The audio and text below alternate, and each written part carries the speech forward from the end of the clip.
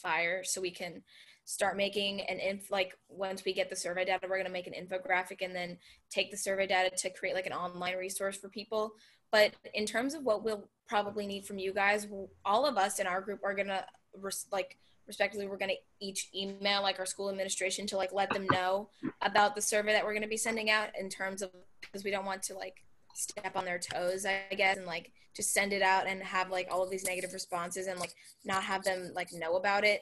But also in terms of what we could use from you guys is we're gonna create like a shorter link and like because for some of you like some of you go to the same school so like you won't have to like directly email people but like once we get like a yes from our school administrators we're going to ask you guys to like share the survey with people in your grade that way we can get like a lot of responses because the more responses the more accurate and like also the more interesting it is for all of us so that's what we that's what we accomplished today Cool. Any questions for freedom of expression? Okay. Um, thank you. It sounds really exciting. And we were saying in that group, freedom of expression is is incre- is so important during this time as we figure out the the path ahead. So we'll be eager to hear what you find. Uh, immigration. So today we actually like finalized our project. So we'll be making like a film to which is exploring the relationship like between coronavirus and immigration so how coronavirus has changed the process like people's experiences and stuff and we like today today we just kind of found organizations like got articles for our research and like talked to felipe and stuff to um just to hear what he thought about our project and for him to give his input and give us kind of like more sources and stuff mm-hmm. and our hope i guess going into the future is to also be able to interview some of the representatives from these organizations and include that footage into our documentary. Um, and also maybe after we do more research to come up with some sort of like advocacy plan in terms of what we believe needs to change about the system um, and what we think you know the next steps can be in order to improving how the system works under a crisis like this. Sounds very exciting. Any questions for immigration? Excited to see it. Um, uh, trauma informed prosecution. Um, okay, so we kind of finalized, like, we've been going back and forth with ideas, and we finalized that we're going to be creating a website that um, works. It's going to have a d- bunch of different pages. So we're going to have like our mission statement about prosecution informed, uh, oh my God, trauma informed prosecution. And then basically it's we want to make a resource for people of like but of a high diversity. So we for students um, prosecutors adults really anyone who kind of wants to learn about trauma informed prosecution. And we today we just kind of created a guideline within the website. We're going to have a google slide, so that's like a lesson plan. Um, and i don't know Rita, you want to add on to anything or Sure. We were thinking also about making um, a journalistic aspect to it in terms of interviewing um, formerly incarcerated people um, and prosecutors. A bunch of people that we met at the roundtable discussion were thinking about interviewing um, just to talk about their experience with trauma in the system. And then that way we can like give them a platform about what work they've already been doing. Um, we're thinking about creating an important news page for people to see all like the recent policy proposals um, about trauma informed prosecution and the work done by the IIP, which is the Institution for Innovation in Prosecution, and the DA office to promote trauma informed prosecution, and then thinking about organizations that people can donate money to for research. So, like the Joyful Heart Foundation is like trying to promote um, a new rape kit for New York City and also Planned Parenthood. So right now we're just thinking about people to get into contact with um, in terms of interviews. Um, and our goal for like the presentation is not necessarily to have like a fully fleshed out website, but to have like kind of basically like the we think like the most important elements of it, and then we're planning to continue with it and add on and make it um, like improve it even after the presentation. But that's just our goal for now.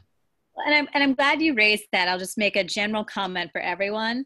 Um, this is work in process. You know, we know that it will be work in process. So, you should see the presentations as like you do want to have something that you're sharing, but it can also be a great opportunity for feedback. So, for example, with with Anna and Ria and their group's website, to be able to sort of share it and say, you know have people especially since we may be online you know what parts do you want to see more of like what resources do you want to add we'll go over this more next time when we're together and you're working concretely on your presentation but thinking about how to make it interactive and you know we're going to have lots of great people there who you may want to be drawing wisdom from uh, thank you for that any questions for trauma informed prosecution okay school to prison pipeline all right. Uh, so today, what we, uh, what me and my team did is we outlined um, what we're gonna do for our uh, presentation. So basically, we're gonna focus on statistical evidence and stuff. And today, we finalize uh, what we are proposing, which is more uh, social workers and mentors in schools, and let involve less uh, uh, police and law enforcement because we believe that using law enforcement shouldn't be a tool for students because statistically, students are aren't responding properly. And I think students, schools should focus like more on mental health and stuff and how to be a, a support for students and implement more resources and opportunities for students to use between the hours of between like afternoon and evening, which are like times that are crimes committed. How can we prevent that? And um, also, uh, social workers being more of an outlet to students and building a much uh, broader like bond and trust uh, that's what we uh, that's what we did. And we also thought about it in kind of a political sense, like how are we going to get people on board? So we thought about presenting it as a generational problem to whoever's in the room, because it's like, like as you know, like kids as youth, like we're all going to be voting soon or already voting. So to kind of get behind these issues that so many young people support is going to be really powerful for these elected officials and people running for office. And then also we were thinking about um, divesting from NYPD, investing in kind of DOE and Department of Social Services. But the only challenge with that is that it seems like social workers immediately, we thought about this as a challenge, would be immediately more expensive than police officers. Mm-hmm. So we would really have to get the point across that like increased police presence causes increased crime, which causes like a larger amount of inmates and prison overcrowding, which ends up cause, costing the city so much more money in the long run social workers are more expensive short term, but they prevent crime, which prevents prison overcrowding. So that leads to like less money being spent in the long term. So we really need to kind of like get the point across that like if we spend more money now, we'll end up saving the city money because like cost of programs is such a big issue that like, you know, it's really hard to kind of get behind all these big policies because there's a big price tag on them. But if we say like our price tag is eventually going to save the city money, then we feel like a lot of people will get behind it.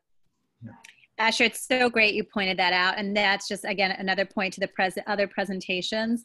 Many of yours don't have financial implications, but if they do, what Asher just narrated is a great example of sometimes things do have an upfront cost, but make that correlation of how it can save uh, money. Again, you don't need to just do it in economic terms. Uh, there's other forms of justice that are being realized, but it's really valuable if you can also make the case in, in dollars and cents and also that far-sighted thing that we're creating generational change. It's in our name next generation politics.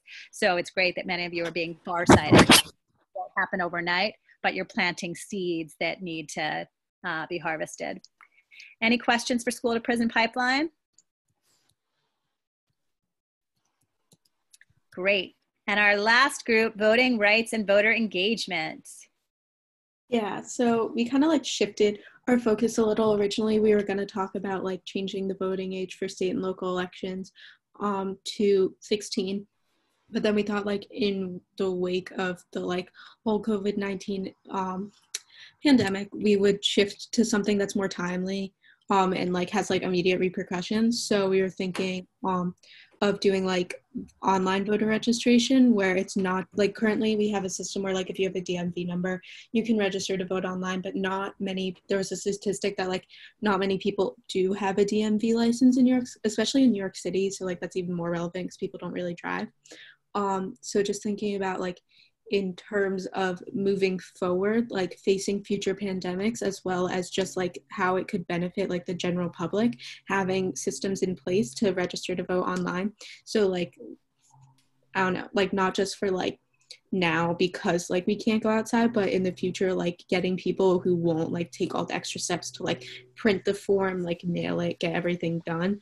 Um just having like a linear system and a way of explaining that and showing like especially we want to start like um instagram outreach to like talk to students and get them more involved so they do like show up to our like final presentation to show that's like an issue students really care about um, and that like it's affecting the next generation and it's not just right now but like long term. Fantastic. I love how your group and many of the groups are really capitalizing on this covid moment to like make it current and cutting edge and to push for things that are needed now and for the future any questions for voting rights and voter engagement Great. It is so fantastic to hear the progress that you're making. Um, we are going to come together next, I think it's three weeks from now, uh, where we'll be focusing on um, the presentations. So I know many of you have next steps that you'll be taking over the coming weeks, you know, as your time allows. Uh, we also want to encourage you to take time for yourself and self-care and also other care, you know, in your families and extended circles. And please feel free to reach out to us, to any of your fellow fellows in any way that we can support you um, on many axes um, uh, uh, across, during this time. And we wanted to close out. Some of you have been doing great work, you know, in this context uh, civically, and um, Asher has shared something that he's created uh, that that we want him to share uh, with all of you, so you can know about it and support Asher. Oh yes, so um, I made a website that's handling the COVID crisis it's called donateyourbailout.org. And basically, the government just passed this like trillion dollar stimulus package. And a big like hallmark of it is these stimulus checks that a lot of families are going to receive. So the point of this website is it provides six like thoroughly vetted, highly ranked organizations that are combating this crisis. And you can go on the website and if a person qualifies for this check, they can donate some of it, they can donate all of it. If a person, you know, kind of like makes more than the maximum annual household income to qualify, they can go and they can go donate an equivalent amount. And it's like providing information on the website about each organization directly what's your money going to do. And like very it's very transparent about like how much money each organization spends how much actually goes to programs versus administrative costs. And it's just a really good transparent way of like increasing donations to you know combat covid-19 thank you. Any questions for asher such a nice thing you did. but thank you for yeah. that. Thank wow. you. It's really amazing. And also, I know we had a group at the beginning of the session talking about inequality and privilege and, you know, how we can really think about redistributing resources, you know, during this time and on the other side of it. So thanks for creating, uh, you know, an instrument to, to support that in, in, a, in a concrete way. Thank you for letting me share. Absolutely. Any parting thoughts or comments that anyone wants to share with the group? Um, can I say something? Of course, Mark. Um, let me let me just say that uh, the fact that everybody's just here doing this is just uh, it's it's an uplifting thing, and honestly, it's it makes me smile that everybody's at least at least I got to see everybody's face at some point. I, this is ironic because my face isn't being. Shown. I know we're not seeing yours. um, but that's okay. Um, my my camera is too foggy, so I have to fix that. Um, but point point of no point being, you know, these next three weeks are going to be very different, very unpredictable, and I don't know what the, is going to come out of this.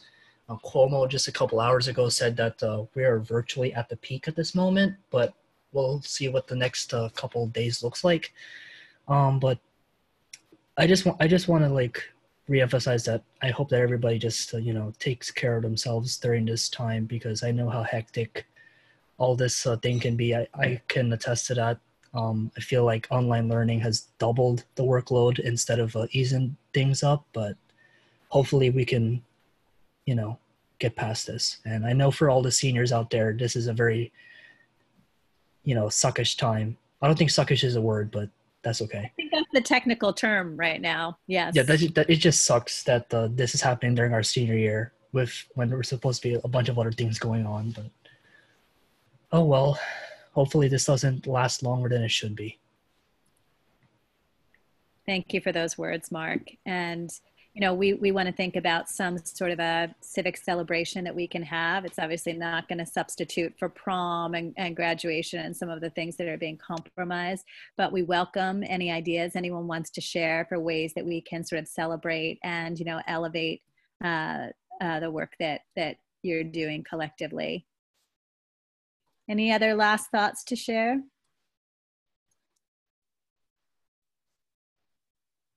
Terrific. Well, thank you, everyone. Echoing what Mark said, it's great to have you here. Take good, good care of yourselves. We will be thinking about you, and we look forward to being back together on April 26th um, and being in touch with fingers before that. Thank and good you. wishes for the holidays that are coming as well for everyone who celebrates. Bye. Thank you. Bye. Bye. Bye.